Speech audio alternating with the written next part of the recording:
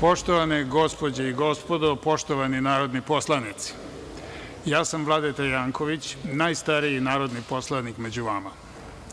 Dozvolite mi da otvorim Prvu konstitutivnu sednicu Narodne skupštine u ovom sazivu i da vas, pre početka rada, pozdravim i čestitam na izboru i na poverenju koje su vam ukazali građani Srbije i da vam poželim uspeh u budućem radu. Sad vas pozivam da saslušamo himnu Republike Srbije.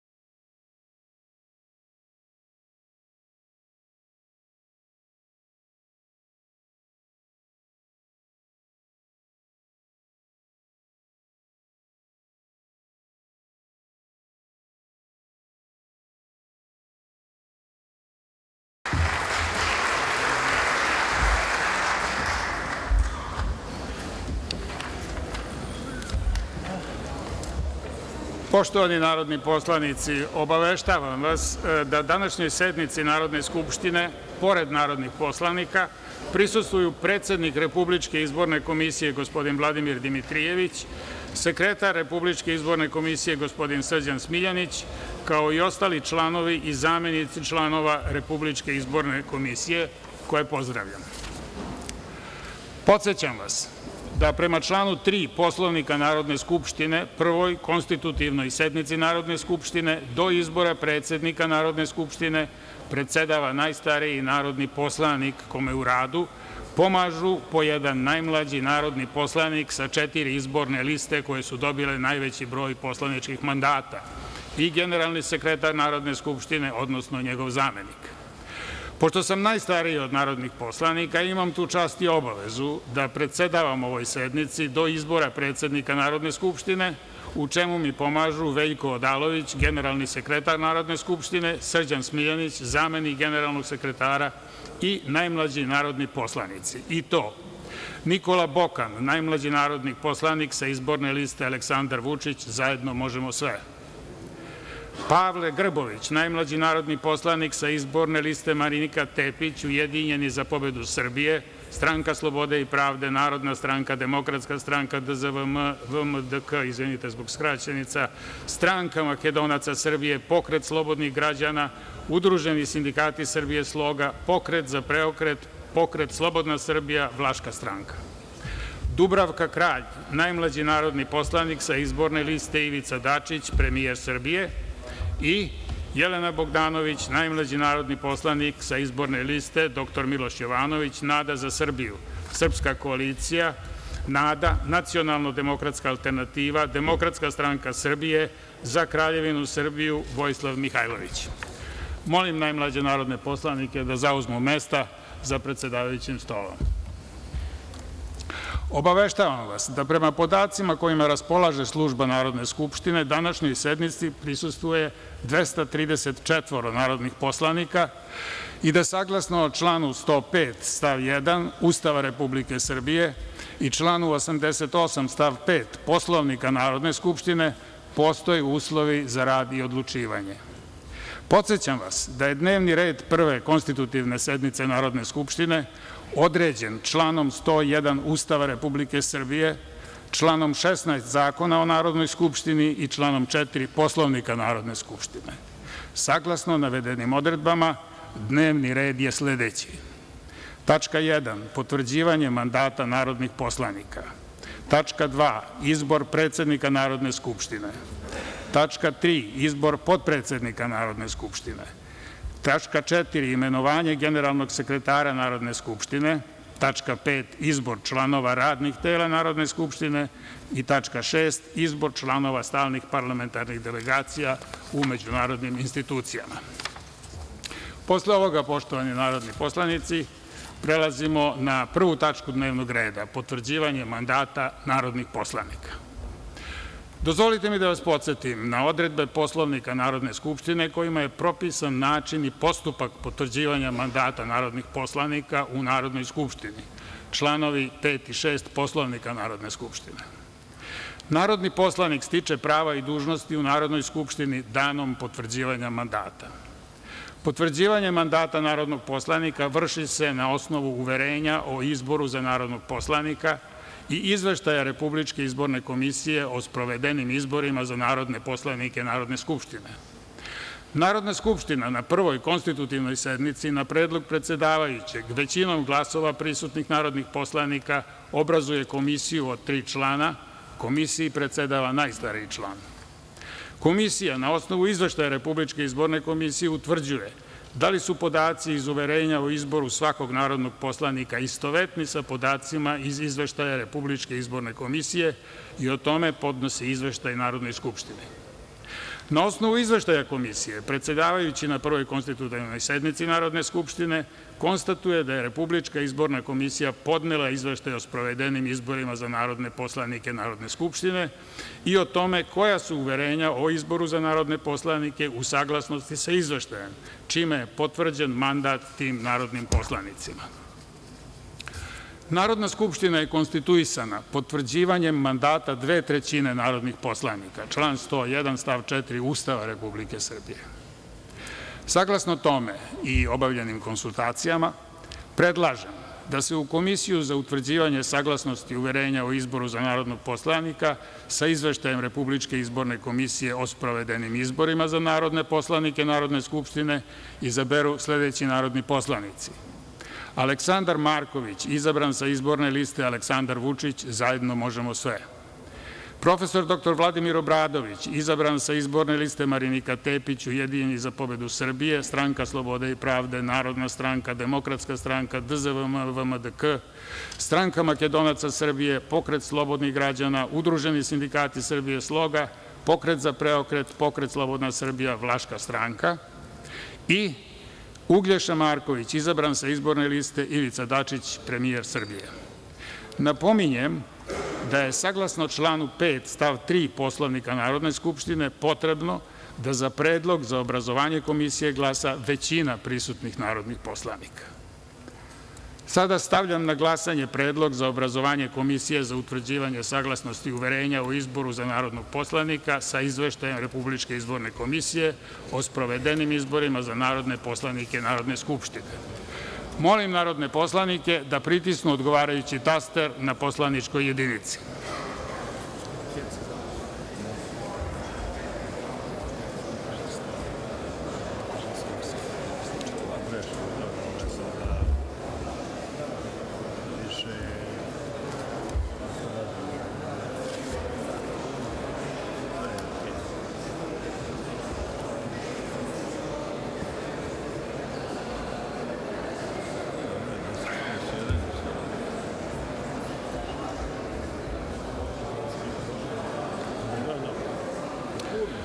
Zaključujem glasanje i saopštavam: za je glasalo 235, protiv – dva, uzdržanih nije bilo, nije glasalo četvoro, ukupno prisutno 241 narodni poslanik.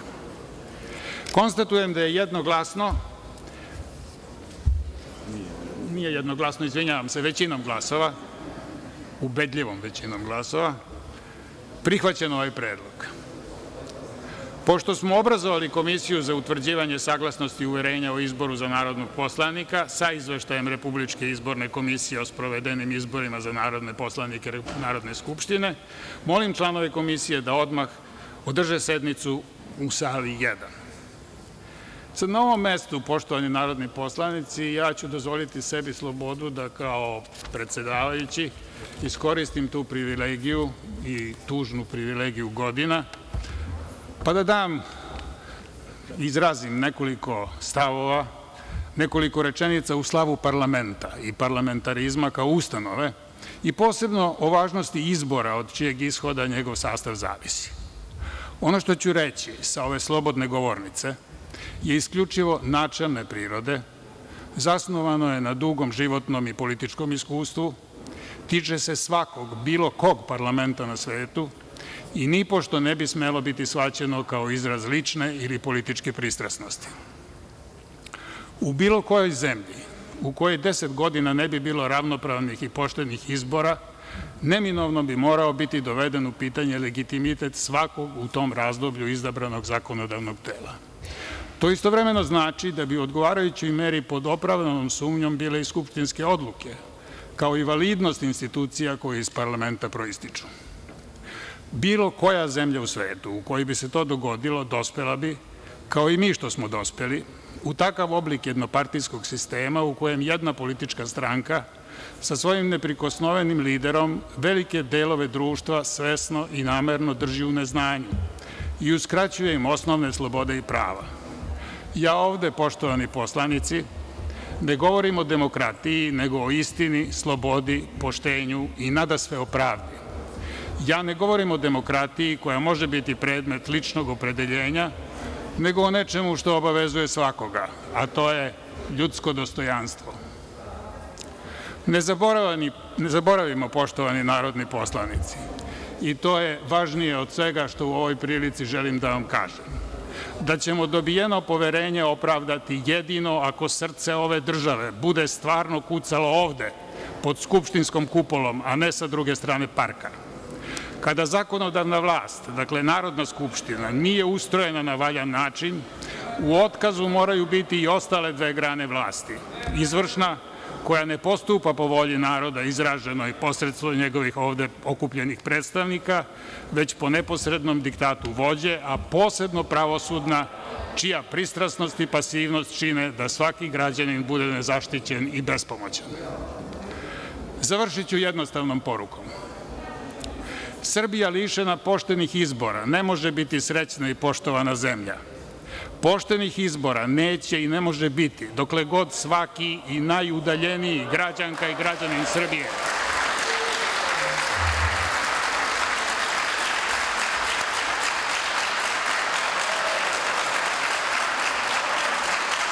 Molim vas, molim vas, molim vas, dokle god svaki i najudaljeniji građanka i građanin Srbije ne budu mogli da na dnevniku RTS-a svakog dana vide šta čini i šta govori vlast, ali i sve ono što o tome imaju da kažu oni koji nisu na vlasti. Poštenih izbora neće i ne može biti dokle god bude potkupljivanja, ucena, pritisaka i nasilja. Dokle god se nacionalni dokle god se nacionalni medijski prostor ne učini dostupnim svima, dokle god izborne komisije budu čekale da umesto njih odluče vladajući političari, dokle god volja i hir jednog čoveka budu iznad Ustava, a naročito dokle god svemu tome bude prećutno povlađivao sud. Hvala vam što ste me saslušali.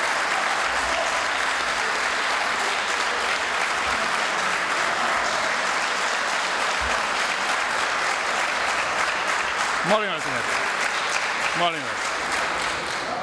Sada, sada prekidamo rad ovog dela sednice do prijema izveštaja za utvrđivanje saglasnosti uverenja o izboru za narodnog poslanika sa izveštajem Republičke komisije o sprovedenim izborima za narodne poslanike Narodne skupštine. Sa radom ćemo nastaviti posle pauze od 60 minuta. Hvala vam.